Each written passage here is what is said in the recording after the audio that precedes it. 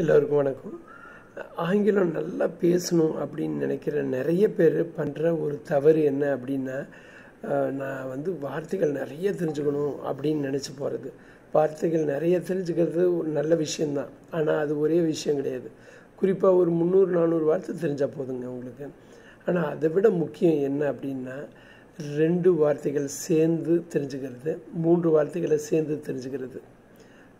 உதாரணத்துக்கு கால் அப்படிங்கிறத விட கால்னால் கூப்பிடுறது. கால் மீ கூப்பிடுங்க அப்படின்னு சொல்கிற மாதிரி ரெண்டு வார்த்தையாக தெரிஞ்சுக்கிறது மூணு வார்த்தையாக தெரிஞ்சுக்கிறது.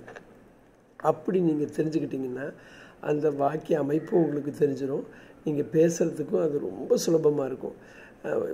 திருப்பி நான் சொல்கிறது என்னென்னா ஒரு வார்த்தைக்காக போகாதீங்க. சொற்றொடர்னு சொல்கிற இரண்டு வார்த்தைகள் மூன்று வார்த்தைகளாக நீங்கள் வந்து கற்றுக்கிட்டிங்கனாக்கா அது நீங்கள் சுலபமாக வந்து அதை பயிலலாம் இதுக்கு வந்து ஸ்மிருதி அகாடமி துணை புரியும். நன்றி.